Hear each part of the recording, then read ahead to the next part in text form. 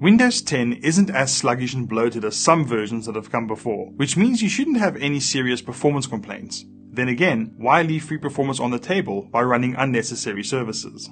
Windows services all have a specific job. Some of these jobs are critical for your computer to work properly. If you disable a Windows service that's needed for the normal operation of your computer, you can get locked out of your machine or may have to undo what you've done. We tested disabling all the unnecessary services listed in this video through the Services app on our computer. However, we can't take any responsibility for something going wrong on your specific machine. Don't mess around with random services not listed here, and always create a system restore point or system backup before making any changes. The Print Spooler. Do you have a printer? Do you ever use it? Printers are becoming a niche item as we all transition to paperless documentation and use smartphone cameras to scan documents. If you don't use a printer, then you can safely disable the Print Spooler service. This is a service that manages and queues print jobs. Without any print jobs to process, it just sits there using up RAM and CPU time. Fax services.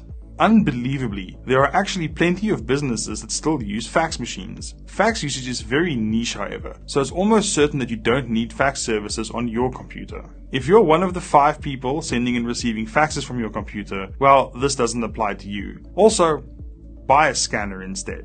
Windows Search. Windows Search is safe to disable and can have a noticeable effect on your performance, because it also disables the Windows Search Indexer. It's not something we recommend most people do, however. Instant, fast search performance is one of the best features of Windows 10. It is an option if you don't make much use of Windows Search or your CPU is really slow. Go ahead and disable it to see if it boosts performance. Windows Error Reporting. Windows sends an error report back to Microsoft when things go wrong. Microsoft uses this information to fix problems in future updates. Some people have a privacy issue with this and choose not to send reports. If you don't want to send error reports to Microsoft, you can go beyond simply selecting Don't Send every time and disable the entire service. Touch Keyboard and Handwriting Panel Service. Windows 10 is now fully compatible with both touchscreens and handwriting recognition, but most desktop and laptop systems don't have that hardware.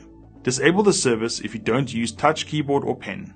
Disabling these services won't give you drastic speed boosts, though you can get an extra frame or two out of your video games or open even more tabs in your browser. There are several more services you can stop, but we strongly recommend against messing with the Windows services you are unsure about. It's especially risky to disable services that are essential to your hardware, such as those related to your graphics card.